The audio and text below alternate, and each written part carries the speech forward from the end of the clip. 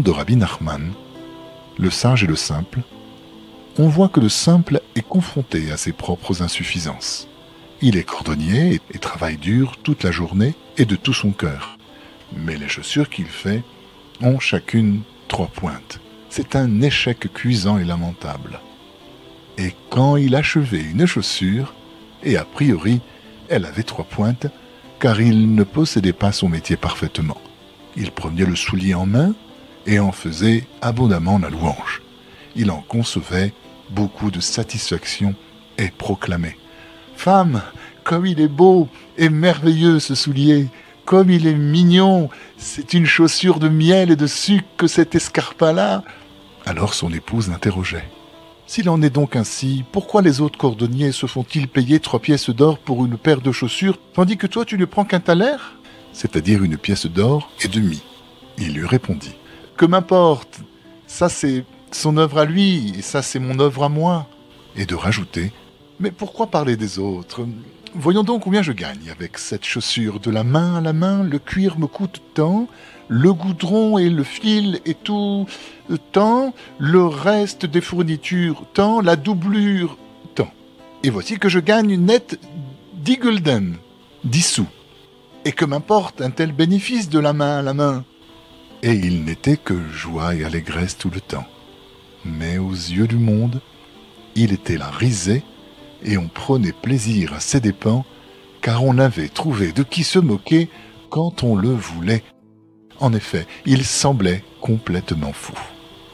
Bien que simple, niais et fou aux yeux du monde, notre simple va parvenir, au cours d'une ascension sociale fulgurante, à devenir le vice-roi, justement grâce à sa simplicité et à sa jovialité. Tandis que son ami d'enfance, le sage, ne va rencontrer dans sa vie que contrariété, déconvenue et frustration, justement parce qu'il est trop savant et se sert trop de sa raison. Son intelligence trop vive lui peint la réalité en noir, il est sombre dans le pessimisme, la tristesse, la dépression. Sa vie est un enfer. Celle du simple, un paradis.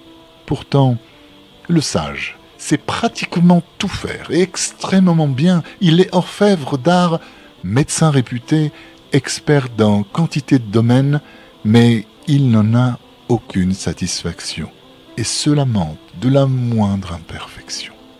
Le simple, par contre, se réjouit de la moindre parcelle positive, même si elle a trois pointes. Sa chaussure est sublime. Même s'il ne gagne presque rien, c'est énorme. Il en a fait le calcul. Rabbi Israël nous encourageait beaucoup, de toutes les manières possibles, à imiter le simple. Lui-même suivait cette méthode, même au plus profond de la douleur physique ou morale, même face aux plus grandes déceptions, il s'efforçait toujours de rire. Quand il était plus jeune, il dansait, il chantait des nuits entières. Ses voisins, pourtant mieux nantis, plus considéré, mieux accepté, enviait sa bonne humeur et sa gaieté. Il n'avait en apparence rien et se comportait comme s'il avait tout. Il s'efforçait de s'encourager lui-même de toutes les façons possibles, bénissant le Créateur pour chaque chose.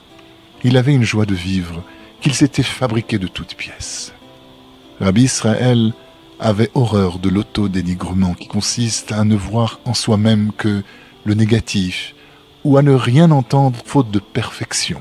Une certaine fois à Bnebrak, il encouragea un de ses visiteurs, débutant en Torah, à s'entretenir au dehors avec un rave, directeur d'école qui était venu le saluer.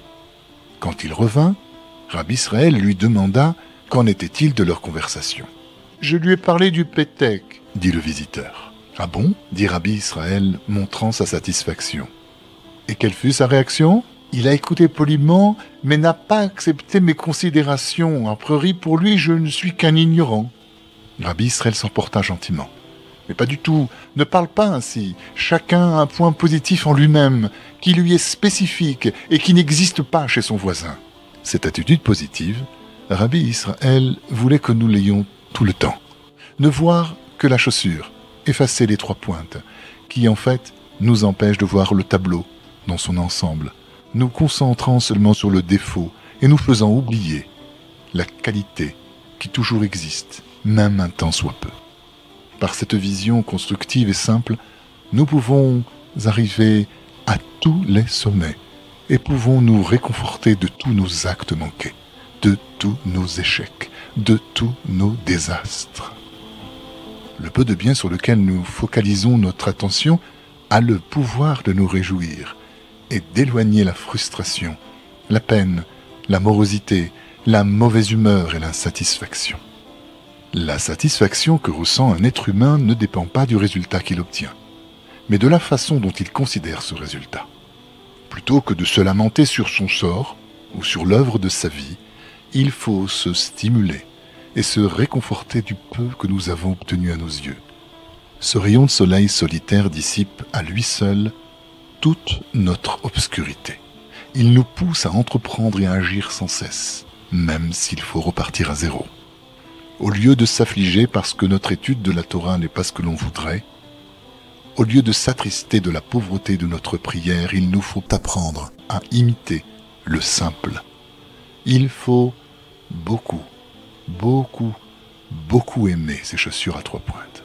Elles ont le pouvoir magique de pouvoir nous satisfaire pleinement et de faire de nous des vice-rois, c'est-à-dire des associés plénipotentiaires du roi des rois, l'Éternel notre Dieu.